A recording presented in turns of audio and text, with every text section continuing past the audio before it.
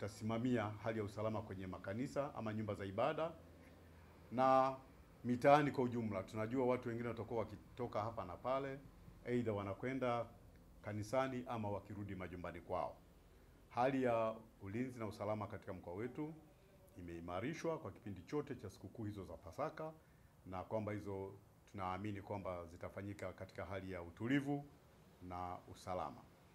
Aidha, kwa siku ya Jumapili ambapo tunaamini eh, ndiyo siku ya sherehe yenyewe ya Pasaka, tumeimarisha ulinzi kwenye maeneo kadhaa ikiwepo kwenye nyumba za ibada, lakini kwenye fukwe za bahari kule ambako tunaamini watu wengine wataenda kuogelea na sehemu zingine zote ambazo zitakuwa na na starehe. Kwa madhumuni ya kuona kwamba sherehe hizo zinasherehekewa na Wakristo mkoa wa Kusini Unguja pakiwa